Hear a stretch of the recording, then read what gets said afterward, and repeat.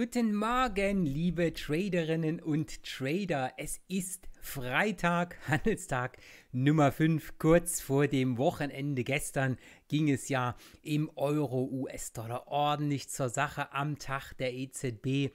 Gucken wir nachher gleich mal drauf. Heute, ja, heute geht es ein bisschen mehr um Indizes. Ich habe gestern in den Indizes ein paar wirklich schöne Situationen gesehen, mal so ein bisschen abseits von den großen Indizes, in denen wir immer hier unterwegs sind. Das heißt, wir gucken heute mal auf ein paar, ähm, ja, ich sage ich mal, die kleinere Indizes verglichen mit dem aus den USA oder auch aus dem, was wir hier jeden Tag im DAX sehen. Nein, wir schauen heute einmal in die Indizes vom australischen Aktienmarkt, vom spanischen Aktienmarkt und wir gucken mal wieder in die Schweizer Indizes rein. Allen Live-Zuschauern hier auch einen guten Morgen und die Einladung, Rolf Lüttger hier auch live dabei. Wer eine Frage hat, wer gerne mal einen Wunschchart analysiert haben möchte, nicht scheu sein, bitte direkt in die Chats hinein auf GoToWebinar oder im Facebook und dann kann ich sehr, sehr gerne auch auf die entsprechenden Märkte eingehen. Zuvor allerdings hier der wichtige Risikohinweis, den bitte ich in Gänze auch zur Kenntnis zu nehmen. Der Handel mit Devisen und CFDs auf Margin, der kann auch zu Verlusten führen. Jo, dann machen wir, würde ich sagen, Standardgeschäft hier, morgendliche Marktvorbereitung, bevor wir dann die Nachrichten für die Folgewoche checken, die großen Charts mal in den genauen Fokus rutschen und wir dann mal auf ein sehr, sehr wichtiges Buch für Trader schauen. Das war auch ein Wunsch einer unserer Zuschauer hier. Solchen Dingen komme ich natürlich auch sehr, sehr gerne nach. Was sind die heutigen Themen? Ich hatte es schon anklingen lassen, die heutigen Handelsideen, der Wochenausblick, die Analyse der großen Indizes und dann, wie immer, der Know-how-Part. Schauen wir auf die Tagesnachrichten für heute. Heute gibt es um 11 Uhr den IFO Geschäftsklimaindex für Deutschland. Spannende Sache. IFO ist immer wichtig. Das Thema der Geschäfte hier in Deutschland, das bewegt in der Regel auch die Märkte. Äh, zumindest dann, wenn es auch Überraschungen gibt. 14.30 Uhr bekommen wir dann aus den USA den Auftragseingang für langlebige Güter und um 16 Uhr am Nachmittag dann auch noch die Verkäufe neuer Häuser. Das die wichtigsten Sachen hier im heutigen Tagesverlauf. Bitte auch nicht vergessen, wer andere Währung tradet, immer auch auf die anderen Märkte mitschauen. Ich kann auch gleich mal zeigen, wie das Ganze geht. Da können wir uns mal kurz, ich schaue gerade auf den dritten Monitor hoch, ich hole mal äh, eben hier Investing Ding runter. Da gucken wir mal eben kurz auf die Nachrichten drauf. Also wer sowas auch machen möchte hier, es gibt auf, im Internet genügend Seiten, wo man das ähm, auch nachschauen kann. Ähm, ich zeige hier einfach das Beispiel mal äh, an investing.com. Da gibt es hier bei den Nachrichten den Wirtschaftskalender und da können wir bei den Tagesnachrichten äh, beispielsweise hier ähm, einfach mal anklicken, okay, wir wollen jetzt hier noch beispielsweise wir hatten es ja gesehen, die Schweiz, die haben wir heute mit da. Und dann können wir hier einfach auf Anwenden klicken und dann können wir hier noch die Relevanzen mit einstellen, einfach einen Klick drauf machen und schon wird das Ganze geladen. Und da sehen wir, ob es denn heute hier etwas gibt aus den Schweizer Nachrichten. Und da sehen wir, heute gibt es da nichts. Und das äh, ja an dieser Stelle einfach für alle ganz normal zum Nachschauen. Einfach hier in die morgendliche Routine oder in die klassische Trading-Routine das Ganze einfach noch mit einbauen. Dann gehen wir einfach mal direkt rein in die Charts, die wir hier haben. Ähm, wir starten hier ich habe es gerade da mit dem Schweizer Index. Warum auch nicht? Wir haben ihn gerade auf dem Schirm. Wir hatten vor ein paar Tagen schon mal über den Schweizer Aktienindex gesprochen. Da gab es eine interessante Situation hier in diesem Bereich um dieses Hoch hier drüben rum. 8860, 8900 Punkte hier drüben. Das war eine interessante Marke. Äh, warum war das interessant? Hier hat es untergeordnet kurz diesen Erholungszacken gegeben. Dann hat sich hier das grüne Trendline gebildet, das in seiner Bewegung ganz ordentlich auch nach oben gelaufen ist. Und jetzt sehen wir das, was schön zu sehen ist. Wir sehen eine Korrektur. Die Korrektur sehen wir hier in einem leichten Abwärtstrendkanal. Und je nachdem, wie sich die Märkte verhalten, wird es entweder etwas Korrektur nach unten geben oder aber wir schieben oben raus. Das Thema der Korrektur nach unten, da ist ja immer auch sehr, sehr wichtig, wie weit kann es denn erstmal nach unten gehen. Da gibt uns der Markt immer mal so ein paar Anhaltspunkte, die wichtig sind. Wichtige Marken hier auf der Unterseite, selbstverständlich der Ausbruchsbereich hier, wo der kleine Trend entstanden ist, beziehungsweise hier, wo wir über dieses Hoch, dieses Korrekturhoch von diesem Abwärtsschub gelaufen sind. Das ist ein Testbereich, da läuft der Markt gut und gerne mal ran, wenn es tiefer läuft. Wir sehen es hier, wir haben hier noch ein paar Tagestiefs unten ran liegen und dann natürlich hier den Trend-Support um die Marke von 8725 Punkten. Das, was wir hier sehen und diesen Trend Kanal, den wir hier sehen, den gucke ich persönlich mir immer liebend gerne in der Stunde an, weil da sehen wir mal, was die Trends machen und da sehen wir auch schön die Umkehr. Um das Thema Umkehr aus einem Trend raus, beziehungsweise aus einem Kanal raus, hatte ich ja diese Woche auch schon mal was zum ähm, DAX gesagt. Wir gucken danach auch im DAX, was es hier Schönes gibt, ähm, wie das Ganze dann auch mittelfristig angepackt werden kann. Das machen wir aber nachher. Zuvor hier noch einmal in die Stunde hinein und in der Stunde sehen wir hier, es ist der Abwärtstrend, der hier momentan läuft. Hier sind wir jetzt quasi mal in einer Bereich, wo so ein Zwischenzacken war, aber wir wissen halt, hier oben ist diese Abwärtstrendlinie, da müssen wir drüber. Wenn wir hier oben drüber laufen, nehmen wir auch den Trend raus. Das heißt, das hier dazwischen ist ein Zwischentrend, ein Zwischengewackel. Das ist natürlich immer gut, wenn der Markt hier kurzfristig drüber läuft. Weiter sieht man, dass das Ganze auch zwischenzeitlich wieder deutlich Tendenz nach oben bekommt. Und hier müssen wir dann einfach noch schauen, was macht denn der Markt an dieser Hochlinie, wenn ich das mal kurz hier etwas näher ranziehen kann. So, hier haben wir ungefähr diese Hochlinie. Ähm, wie verhält es sich darüber? Bricht das raus? Setzt sich der Trend fort? Das sind dann die wichtigen Sachen, die wir an dieser Stelle sehen und wissen müssen, um zu entscheiden, ob es jetzt für unser Setup aufwärts oder eher abwärts gibt. Das das heißt, ob der Markt hier oben abprallt und die ganz kurzfristigen Trader vielleicht ein bisschen was nach unten traden. Das wird sich zeigen hier im Laufe des Tages. Mittelfristig auf alle Fälle hat der Markt das Potenzial, dann am Ende deutlich nach oben zu laufen. Ich muss mal kurz hier das wieder etwas rüberrutschen. Das verschiebt sich manchmal in den Charts. Ähm, heißt also hier an dieser Stelle, wenn es nach oben geht, dann haben wir natürlich auch weiteres Potenzial oben hin. Erst einmal hier das Top aus dieser Bewegung 9040 Punkte ungefähr. Da können wir hochlaufen für die kurzfristigen Trader. Hier haben wir auch noch ein paar schöne Tageshochs liegen, wo es mit ranlaufen kann und dann weiter im Verlauf steht natürlich hier oben der hohe Widerstand bei 9200 Punkten. Das ist ja eine Marke gewesen. Da haben wir hier ein paar Mal gesehen, dass sich der Index da oben die Zähne ausgebissen hat. Das ist auf alle Fälle dann wieder ein sehr, sehr interessantes Anlauflevel, was man in die mittelfristige Planung mit reinnehmen kann. Und dass Planung Sinn macht, haben wir auch gesehen, was hier passiert ist. Das also zum Schweizer Aktienindex. Schauen wir dann einmal weiter in den spanischen Markt rein. Der spanische Aktienmarkt, wir sehen es hier, ist, ich habe jetzt mal den Wochenchart hier offen, um einfach ein bisschen Ruhe reinzubringen in die Betrachtung des Charts. Der Tageschart sieht halt so aus. Hier unten sehen wir auch ein bisschen hin und her gezappelt.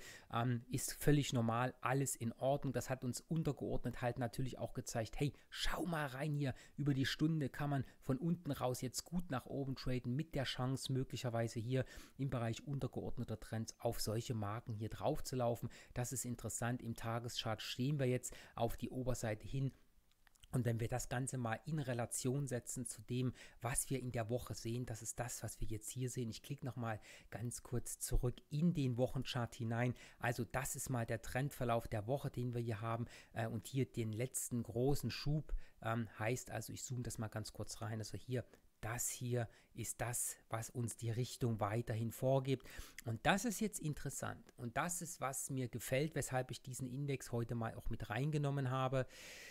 Leider finden diese kleineren Indizes häufig viel, viel zu selten Beachtung. Die Leute gucken irgendwie aus irgendwelchen Gründen immer nur auf den DAX oder auf die anderen großen Indizes in den US-Märkten. Aber so nebenbei kann man hier mit den kleinen auch immer wieder sehr, sehr interessante Sachen machen. Deswegen haben wir hier bei Tickmill auch dieses weite Universum. Nutzen Sie das einfach. Es gibt so viele Chancen. Man muss nicht immer nur ein und dasselbe traden. Man kann natürlich, wenn man da sehr, sehr erfolgreich darin ist und gerade im Intraday-Trading ist es natürlich gut, sich auf Kleinigkeiten Zeiten auf enge Titel, also auf wenige Titel zu beschränken. Aber diejenigen von Ihnen, die das vielleicht auch nebenberuflich machen, es macht Sinn, die großen und die kleinen anzugucken, weil auch in den kleineren finden sich immer, immer wieder richtig geniale Setups. Und hier haben wir jetzt in der Woche eine feine Geschichte. Warum? Wir sehen es hier, was das Thema Trend angeht. Wir sind extrem weit in der Korrektur. Wir sind sehr weit hier oben rangelaufen. Das Hoch hier in der Korrektur hatten wir bei ungefähr ich glaube, das ist sogar das Wochenhoch, was ich hier getroffen habe.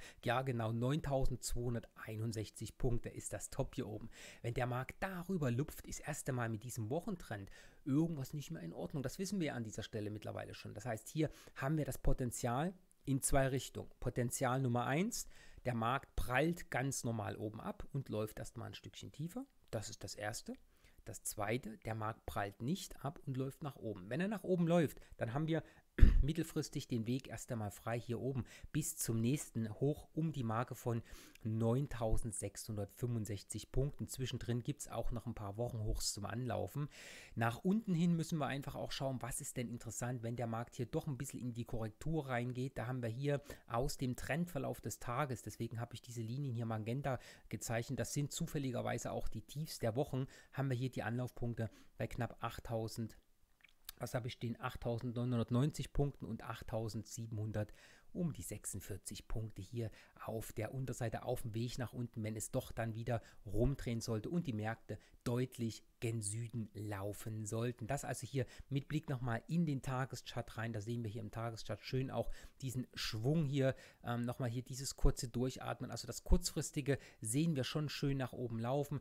Äh, und wie schon gesagt, hier das, was ich markiert habe, das sind halt die Swing-Lows, die wir hier sehen. Das heißt, das Swing-Lows hier, das hier oben an dieser Stelle und das Swing-Low hier in diesem Bereich. Das sind dann gut und gerne auch mal Marken, die hier dazu genommen werden können, um das Ganze mit nach oben zu traden. Und wir sehen ja auch hier in diesem Bereich hier hatten wir das Top von diesem untergeordneten Trend, der sich hier gebildet hat. Das war der Bewegungstrend hier, was wir auf Tagesbasis gesehen haben. Der wurde hier wirklich auch rausgenommen. Da stehen wir jetzt drüber. Der Markt hatte, wir haben es hier gesehen, dieses Level nochmal leicht angelaufen, um dann nach oben zu drehen. Hier wird es jetzt wirklich spannend. Dynamischer Tag nach oben. Der kann schon gut und gerne bedeuten, wir laufen mal dieses Top hier an, also auch hier im spanischen Index, Aktienindex für die kurzfristigen Trader im Intraday-Bereich, da macht es auch Sinn, hier mal hinzuschauen, weil da gibt sich doch durchaus die ein oder andere interessante Trading-Idee. Und damit gehen wir in den dritten Markt mit rein, ein Stück weiter weg von uns hier in äh, Deutschland. Und zwar gehen wir hier mal in den australischen Aktienmarkt hinein. Hier, wo haben wir ihn? AUS 200, das Kürzel hier, der ASX. Da haben wir auch wieder schön im Tageschart und hier, ach, ich liebe es. Es ist einfach traumhaft zu sehen. Wir hatten hier auch sehr, sehr schön diesen Aufwärtstrendverlauf, der sich hier untergeordnet gebildet hat, hat hier diesen Abwärtstrend, diesen, was ich hier eingezeichnet habe, diesen letzten Rutsch auch rausgenommen. Hier fließt auch wieder einiges zusammen, das sieht man. Ähm, kurzfristig ist hier wirklich schön Dynamik auch nach oben drinnen. Hier hatten wir ein tieferes Tief, hier hat man das Korrekturhoch, hier das tiefste Tief äh, aus diesem Abwärtstrend und der ist jetzt rausgenommen worden und hier haben wir schön diese Bewegung nach oben. Die hat jetzt die letzten beiden Tage korrigiert und hier sehen wir schon, ähm, was jetzt passiert. Gestern, also am Mittwoch gab es hier diese Unentschlossenheit, gestern lief der Markt hoch, jetzt wird das ganze Ding auch weiter bestätigt. Mm, das heißt, für den kurzfristigen Trader könnte es interessant sein, mal zu schauen, was der Markt hier macht, ob hier Dynamik reinkommt, kann man das gut und gerne nutzen mit dem Fokus auf die Marke hier oben 5945 Punkte. Ich zoome das mal kurz etwas näher ran, damit man das Ganze leichter lesen kann. Das heißt, hier können wir durchaus in die Tageshochs reinlaufen. Das kann dann unter Umständen Dynamik bringen und das Ganze nach oben laufen lassen, nach oben schieben, wenn die Märkte hier heute auch weiterhin positiv tendieren. Andererseits könnte es natürlich auch passieren und das ist das, was wir hier sehr, sehr schön beobachten können, wenn hier oben um diese Marke erstmal wieder ein bisschen Schwäche reinkommt und der Markt nach unten abdreht, dann könnte es auch sein, dass wir hier etwas korrektive Phase sehen. Da ist es halt wichtig, dass der Markt hier oben drüber bleibt, über diesem Low, was wir hier haben bei der Marke von ungefähr 5820 ähm, Punkten. Was ist das Low hier? 8000 519,82, also knapp die Marke von 8520 Punkten. Da sollte drüber bleiben. Ähm, dann wäre dieses Szenario mit einem direkten Hochlauf auch immer noch da. Ansonsten wird es tiefere Korrektur geben. Kurzes Anlauflevel dann natürlich hier dieser Ausbruchsbereich hier oben bei knapp 5800 Punkten, als dieser Trend hier drüben gebrochen wird, dieser Abwärtstrend. Oder aber dann nach unten halt, wie schon gesagt, hier haben wir wieder ein paar interessante Tagestiefs liegen, um die Marke von 5755 hier in diesem Drehraum, wo ich mit der Maus gerade bin. Es kann auch tiefer korrigieren.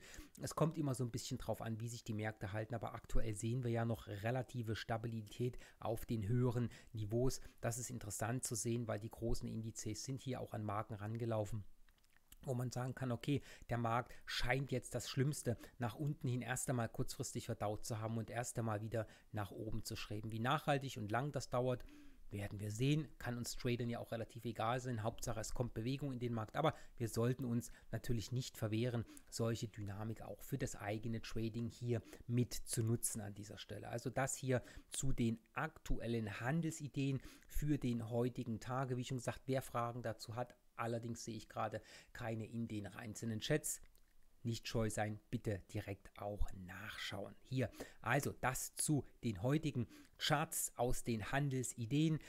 Schauen wir dann auf die nächsten Punkte im Webinar. Hier heute die große ähm, ja, Schau über die Termine der nächsten Woche. Diese Woche hatten wir eine verkürzte Handelswoche in den USA. Nächste Woche ist wieder alles in Ordnung. Ähm, die Termine der kommenden Woche habe ich auch zweigeteilt, weil es wirklich so viele sind. Wir bekommen am Montag aus den USA ähm, das Conference Board Verbrauchervertrauen, ähm, also auch wichtige Daten hier von der Seite aus den USA. Dann ist am, am Dienstag auch noch offen, es gibt eine Parlamentsabstimmung, wieder mal eine Abstimmung über über das Thema Brexit. Mal gucken, wie lange uns das Thema noch begleiten wird. Ähm, ja, im März ist ja eigentlich offizieller Austritt geplant. Also es bleibt hier spannend, was passiert. Am Mittwoch wird das Thema Arbeitslosenbeschäftigung in den USA, also ADP-Beschäftigungsänderung in den USA wieder interessant. Wir bekommen am Mittwoch auch das Bruttoinlandsprodukt der USA, das Thema schwebende Hausverkäufe. Wir bekommen wieder ähm, die Rohöllagerbestand und wir haben wieder Zinsmittwoch. Das heißt FOMC-Statement und den Zinsentscheid der FED. Das gibt es dann nächste Woche Mittwoch. Ich bin gespannt, was hier erklärt wird und wir an den Märkten daraus auch lesen können. Dann gibt es hier weitere Sachen noch am Donnerstag. Da bekommen wir Informationen aus China. Das immer wieder in der Nacht, aber China rückt jetzt auch immer mehr in den Fokus, Thema Wirtschaftswachstum und so weiter und so fort, Handelsbeziehungen mit den USA. Das hat ja alles Einflüsse und wir müssen halt auch darauf achten, äh, wie sich die Lage in China äh, sozusagen ändert oder, sage ich mal, verhält. Warum? Weil das auch für den deutschen Export sehr, sehr, sehr wichtig ist. Deswegen sind diese Daten aus China wichtig. Deswegen nehme ich die hier in die Wochenplanung auch immer noch mit auf. Aus Deutschland bekommen wir äh, dann die Veränderung der Arbeitslosigkeit am Donnerstag und am Freitag. Ähm, gibt es dann aus China nochmal ähm, noch ein bisschen was zum Thema Einkaufsmanager-Index ähm, und dann um 9.45 Uhr aus Deutschland auch den Einkaufsmanager-Index. Das gleiche dann am Freitag auch noch aus Großbritannien und in den USA ist Freitag hier wieder Non-Farm Payroll Day. Das heißt, wir bekommen hier die Beschäftigung außerhalb der Landwirtschaft, Thema Arbeitslosenquote und aus den USA auch noch den ISM Einkaufsmanager-Index für das verarbeitende Gewerbe. Also die nächste Woche wieder picobello vollgefüllt mit ganz wichtigen Terminen, die wahrscheinlich ordentlich Bewegung in die Märkte reinbringen. Die Detailsplanung, das machen wir alles wieder in den einzelnen Besprechungen für die Handelstage in der nächsten Woche. Und damit würde ich sagen, gehen wir weiter wieder zurück in die Charts hier an dieser Stelle haben wir jetzt die Zeit, um mal die großen Indizes zu checken. Da würde ich sagen, gehen wir einfach mal wieder rein in die Tagescharts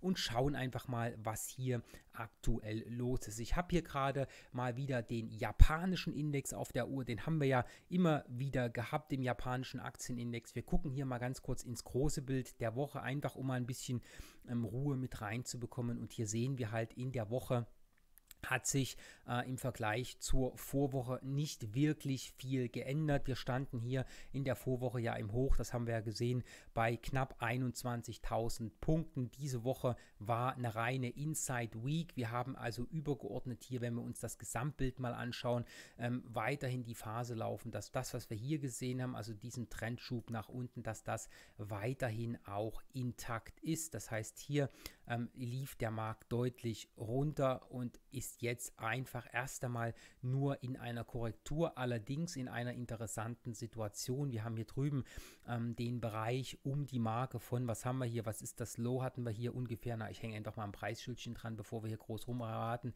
Also wir haben hier die Marke von ungefähr, ja, 20.800 Punkten, wo wir jetzt wieder reingelaufen sind. Da hält sich der Markt momentan auf. Interessant wäre es zu sehen, wenn er wirklich drüber strebt und sich darüber hält. Das wäre sehr, sehr gut. Nicht so gut wäre es, wenn wir einen Abprall bekommen. Das heißt, das würde uns zeigen, wir laufen hier erst einmal wieder runter und drehen wieder in Richtung dieses übergeordneten Wochenabwärtsschubs, den wir hier haben. Das mittelfristige Bild ist also dieses hier nach unten. Das längerfristige Bild zeigt uns halt auch an, wir haben diese Marke hier unten rausgenommen. Dieses Level hat der Markt ja definitiv durchbrochen hier an dieser Stelle. Ähm, ja, und da muss man einfach sagen, da ist jetzt dieser langfristige kurzfristige Aufwärtstrend erst einmal rausgenommen worden. Das heißt, hier müssen wir wirklich erstmal sehen, wie das Ganze weiterläuft. Solche Aufwärtsdynamiken wie jetzt sehen wir immer wieder in abwärtsgerichteten Märkten. Ich möchte jetzt hier nicht pessimistisch klingen, sondern einfach nur das aktuelle Bild auch mit einschwenken lassen in die genaue Planung, die wir hier machen. Das heißt, optimistischerseits ist es überhaupt kein Problem, dass wir schön weiter nach oben laufen. Wir sehen ja auch, wie bullisch diese aktuelle Woche wieder läuft. Das heißt, wir bewegen uns zwar momentan hier innerhalb der Kurse der letzten Vor der, der Vorwoche sozusagen, aber wir haben das, was diese Woche abverkauft wurde, alles wieder hochgekauft. Und das ist hier, was wir sehen, beide Dips sozusagen in der Woche. Das zeigt uns schon, der Markt will eher nach oben. Das ist äh, vielleicht ein Paradigmenwechsel, der sich hier auch andeutet. Und das kann gut und gerne auch noch eine ganze Weile so weitergehen äh, mit Blick auf diesen Abwärtstrend. Es ist ja überhaupt nichts dagegen zu sagen, dass man sagt, aus technischer Sicht der Markt, der kann sogar bis hier hoch korrigieren. Da haben wir Trader ja eine Menge, Menge Potenzial, was wir verdienen können. Und da können wir uns sehr, sehr schön am Tageschart auch daran orientieren, was hier los ist und wie wir nach oben laufen können. Das schauen wir uns jetzt gleich mal an im Tageschart, welche Chancen sich da momentan auch bieten. Also wie schon gesagt, hier haben wir ja die Woche, habe ich hier noch mit eingegliedert, die hier läuft. Was wir hier schön sehen, untergeordnet natürlich. Hier ging es ordentlich nach oben. Dann haben wir untergeordnet einen Trend, der hier nach oben läuft, untergeordnet meine ich mit Bezug auch auf das, was wir hier vorher sehen. Und da sehen wir halt jetzt schön den Markt nach oben laufen. Wir sehen hier auch immer mal einen leichten Korrekturzacken drinnen, der dann wieder hochgekauft wird. Und das, was wir hier jetzt sehen, rein aus Sicht des Händlers, wenn man diesen Trend hier für sich auch bestimmt, wir sind aktuell hier in der noch korrektiven Phase, aber wir drehen schon wieder nach oben um. Und das ist doch das Schöne, was wir hier sehen. Das heißt, hier haben wir doch durchaus die Chance, jetzt nicht nur den Angriff auf die knapp 2800 Punkte Marke, 20.800 Punkte Marke ähm, zu sehen, sondern wir haben die reale Chance, dass der Markt weiter nach oben läuft und diesen Trend hier auch über dieses wichtige Level hin fortsetzt. Das wäre erstmal ein sehr, sehr, sehr deutliches Zeichen. Diejenigen, die hier auch genau hinschauen, die werden sehen, ha, da oben ist ein Marke, da ist ein Zacken, da hat der untere Trend, also das, was wir jetzt hier sehen in diesem Bereich um die knapp 21.900 Punkte, da hat der Markt mal innegehalten und dann ist er wieder runtergelaufen. Und wenn sowas hier auch rausgenommen wird, das ist halt auch ein interessantes Zeichen, wo man sehen kann, jupp, da kommt Stärke rein, da läuft der Markt nach oben.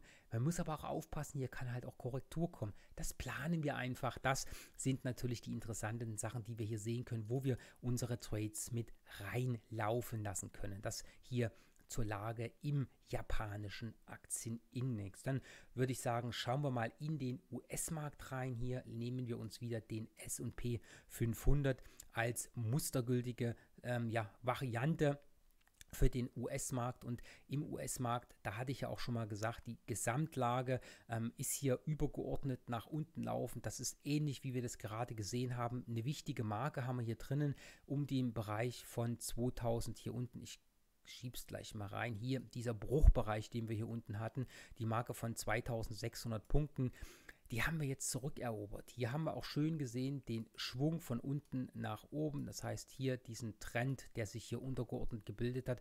Das können wir als aktive Trader alles hervorragend zum Handel nutzen. Ähm, hier gab es mal auch hier diesen ganz leichten Zacken. Danach lief der Markt wieder einfach weiter nach oben hier und dann stehen wir hier in korrektiver Phase.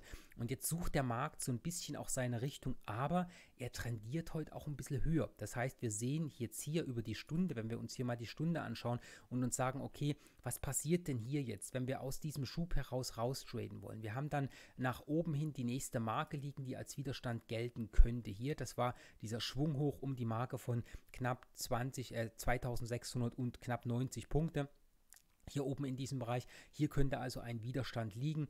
Nach unten oder von unten heraus für die kurzfristigen Trader wird es natürlich interessant. Hier liegen ein paar Tageshochs und hier haben wir an der Stelle noch das Swing-Hoch liegen, also hier an dieser Stelle. Ähm, das sind interessante Marken, wo wir ranlaufen können.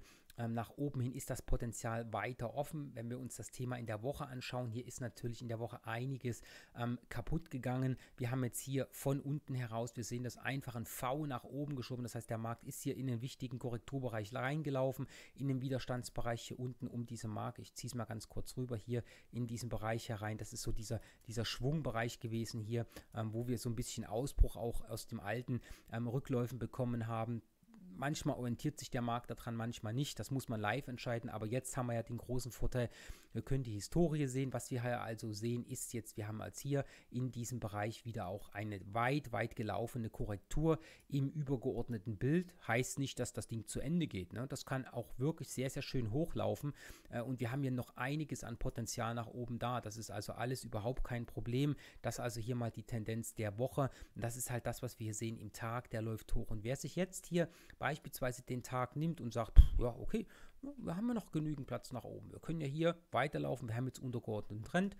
Den nehme ich erstmal als Richtungsweiser. Hier haben wir kurzfristig ein paar interessante Marken, wo wir ranlaufen könnten. Hier oben haben wir das nächste, ja, der sage ich mal, den nächsten Bereich, der extrem wichtig ist, weil wenn der überschritten wird hier oben, ähm, dann zeigt uns der Markt hier auch, ha, jetzt geht es weiter hoch. Wir ignorieren solche, solche Levels, wo wir hier ranlaufen könnten. Also hier oben diesen Bereich, der ist halt wichtig. Da hat der Markt immer wieder hin und her getingelt. Die Marke von ungefähr 2800 Punkten. Da klebe ich auch mal kurz ein Preisschild dran. Also hier, das ist der Bereich um die 2800 Punkte Marke. Da hat der Markt lange gebraucht. Und wenn so ein markantes Level auch rausgenommen wird, das hat dann schon eine ordentliche Marktbedeutung. Und das ist halt wichtig an dieser Stelle, dass man sowas gut und gerne liest, die die kurzfristig traden. Hier mit Blick auf den SP 500, vielleicht auch mit dem Blick ins Freitagstrading rein, bleibt diese Dynamik rauf. Gucken wir mal kurz in die Stunde. Die Stunde ist nämlich mittlerweile wieder nach oben trendierend. Hier haben wir es gesehen, aber wir stehen noch nicht hier drüber. Das heißt, was wir hier sehen, sind ja wichtige Level. Ich zeichne den Rest mal ein. Wir hatten hier das Thema der Korrektur und hier hat man nochmal ein neues Tief an dieser Stelle gemacht. Und jetzt bildet sich hier oder hat sich hier untergeordnet, das sehen wir ja hier, hier gab es den Schub nach oben, dann gab es die korrektive Phase und hier hat sich jetzt untergeordnet ein Trend gebildet, der nach oben laufen will. Und das, was wir jetzt hier sehen, das ist wirklich sehr, sehr interessant, weil das ist so ein kleiner sag ich mal, Seitenschwungarm. Das kann sich so zu einem Round Top ähm, ähm, ausbilden, äh, Round Bottom ausbilden, hier an dieser Stelle und dann nach oben brechen. Und das ist dann natürlich obergeil. Entschuldigt diesen Ausdruck, aber das, wenn man sowas sieht, das ist immer richtig genial zum Traden, weil wenn wir dann aus dieser leichten Seitwärtskorrektur nach oben wuppen, hier Hochpunkt, Hochpunkt, Hochpunkt, Hochpunkt. Da haben wir doch deutliches Potenzial nach oben, wenn die Dynamik nach oben weiterschießt. Wenn das nicht macht, so what? Wir können uns eng absichern, ähm, ist dann auch egal, aber hier kann ordentlich Bewegung reinkommen und den Markt schon schön nach oben schnäpsen lassen. Das müssen wir nur einfach erst einmal abwarten, was wir hier dann machen. Das heißt, hier oben ist Widerstandsbereich momentan da, ja, aktuell wirklich auch, aber das Sammeln unter diesem Bereich und kein großer Abverkauf, das könnte auch bei guter Marktlage, bei weiter positiver Börsenstimmung ganz fix dazu führen, dass wir hier nach oben rauslaufen und im kurzfristigen Bereich auch schöne Anlaufmarken suchen können. Das hier zu sehen momentan im Stundentrend des S&P 500 und mit diesem engen, mit diesem sehr, sehr marktengen Blick hier im S&P 500 wechseln wir mal in den deutschen Aktienmarkt rein. Hier der DAX wieder auf der Uhr. Wir haben es hier sehr, sehr schön ähm, auch zu sehen, wenn wir uns mal den Tagestrendverlauf anschauen. Das mache ich gerne auch mal in der Markierung hier. Das letzte Stück davon auch mit einzuzeichnen, heißt hier Korrektur hier das hoch gehabt, dann unten runter nochmal ein Stück neues Tief gemacht im Trend und jetzt Und das ist echt genial. Der DAX hat es gepackt, sich über dieser Marke zu etablieren hier, hat nochmal kurz korrigiert nach unten und gar nicht so tief. Das ist auch ein Zeichen von Stärke. Hier schön auch ein Dreieck gemacht ähm, und dann nach oben gelaufen. Und das ist echt geil, was wir hier sehen.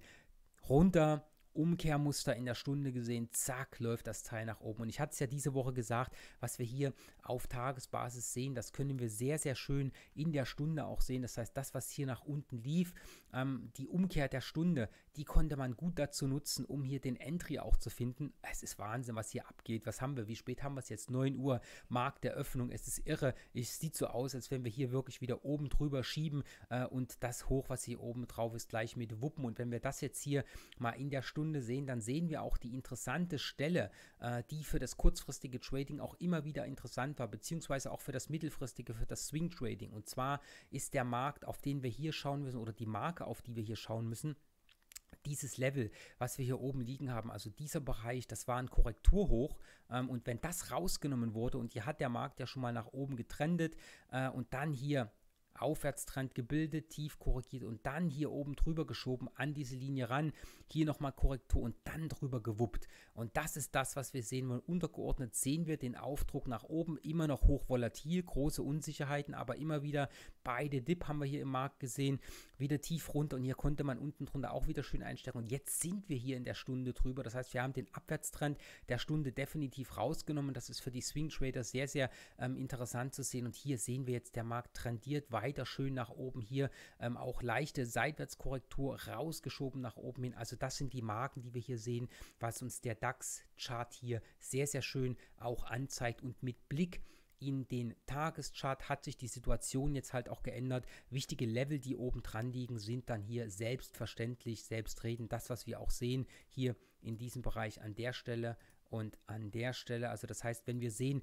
das, was hier oben nachläuft, das sind natürlich Marken, wo gut und gerne auch Kauforders warten können. Das heißt, was wir hier mittelfristig sehen können, bei weiter ansteigender positiver Dynamik, das sind einfach knapp mal die Marken, die ich hier einfach ranlege. Das ist jetzt nicht genau auf den Punkt gelegt, das ist einfach nur knapp rangelegt. Nur dass jeder sehen kann, ähm, was ich damit meine, wo potenzielle Anlaufpunkte nach oben hin auch sind, wenn sich das Ganze fortsetzt. Also hier, was wir hier sehen, auch wirklich hervorragend, wie die Dynamik momentan nach oben läuft. Also das Bild hier auch wirklich sehr, sehr schön nach oben mit aufgesetzt. Und das ist halt das Positive, was der Markt momentan spiegelt. Wir bekommen auch immer mal wieder positive Nachrichten aus dem Thema ähm, Handelsstreit mit China interessant, wirklich sehr, sehr feine Dinge, die wir erfahren können. Und cool war halt wirklich, wir haben diese Woche Augenzeugenberichte hier gehabt. Wir haben live gesehen, wie die 11.000 Punkte Marke geknackt ist. Und da hat der Markt ja nicht aufgehört. Also wirklich es macht unheimlich viel Spaß zu sehen, wie schön der DAX die Richtung gewechselt hat und dynamisch auch sehr, sehr schön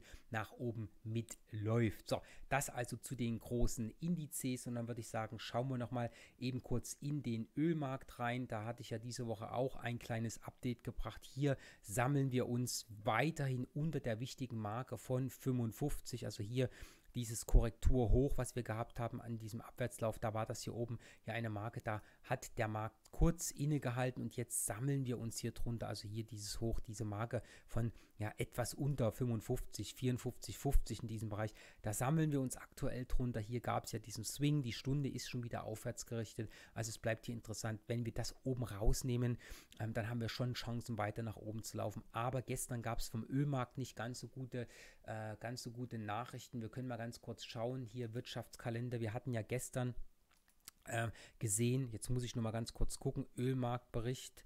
Hier, wir hatten eigentlich mit einem Rückgang geplant äh, und dann gab es doch einen deutlichen Zuwachs äh, in den Rohöllagerbeständen. Gut, das war jetzt einmal, muss man sehen, äh, wie sich das nächste Woche verhält. Aber wenn sich dieses Bild wieder rumdreht und die Rohöllagerbestände wieder weiterhin deutlich anwachsen, dann wird das, glaube ich, für den Ölpreis nicht ganz so gut sein. Könnte auch sein, dass dann die Indizes wieder runterdrehen. Das sind so die Korrelationen, auf die wir immer wieder achten müssen. Und wenn wir das sehen, macht es natürlich auch Sinn aus korrelativer Sicht zu sagen, wenn die Aktienmärkte wieder runterlaufen, auch das etwas Planung für die, für die nächsten Tage, dann sollte man einfach mal schauen, wie sich hier der Goldpreis verhält. Das heißt, wir sind ja hier ähm, von den Hochs etwas zurückgekommen im Goldpreis in der Korrelation mit den ansteigenden Aktienmärkten. Und immer dann, wenn die Aktienmärkte stark gestiegen sind, ist der Ölpreis gefallen. Wenn die Aktienmärkte fallen, dann steigt der, äh, der, der Goldpreis ähm, auch mit an Wir sind ja hier jetzt im Goldchart.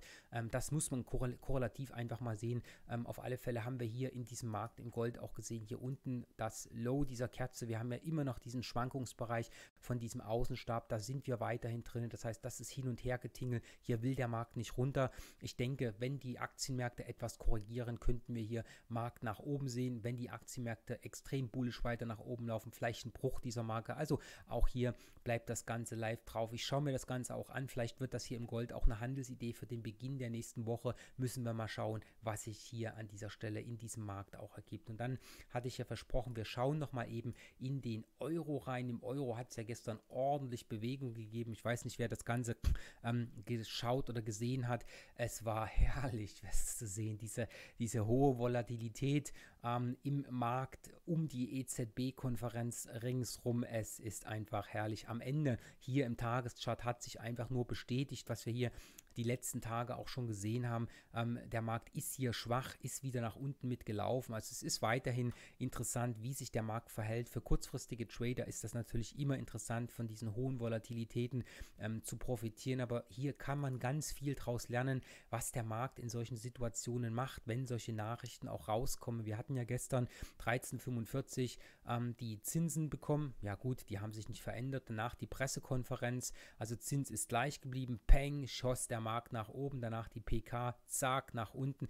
Und das ist halt immer interessant für diejenigen, die das eng betreuen. Wenn wir hier sehen, die Stunde lief hier wirklich sehr, sehr weit nach unten. Hier oben, schaut euch das mal an, hier oben war ein Bereich, und das sieht man wirklich sehr, sehr oft, der als Widerstand gelten kann, weil hier hat sich dieser Abwärtstrend oben rum gebildet, der dann diese ganze Geschichte hier wieder nach unten gebracht hat.